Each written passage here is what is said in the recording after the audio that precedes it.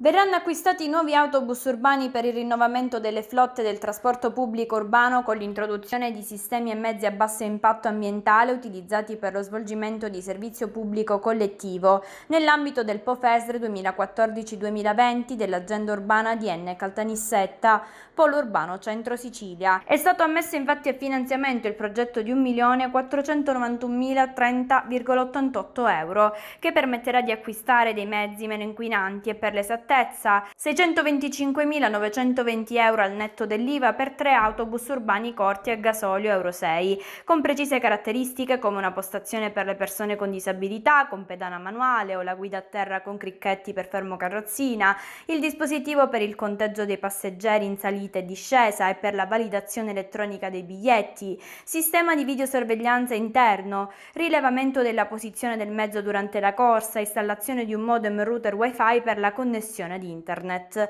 e ancora indicatori di linea e di percorso a LED ultraluminosi di colore bianco o giallo. Vengono richiesti anche particolari requisiti per quanto riguarda la cabina di guida, i rivestimenti interni, porte, vetratura, illuminazione interna, riscaldamento e reazione, sedili, scritte segnaletiche, strumentazioni e ulteriori accessori. Caratteristiche precise che vengono richieste anche per un autobus urbano corto elettrico destinando un importo di 332.000 560 euro sempre al netto dell'IVA e uno cortissimo elettrico per un importo di 243.059 euro al netto dell'IVA.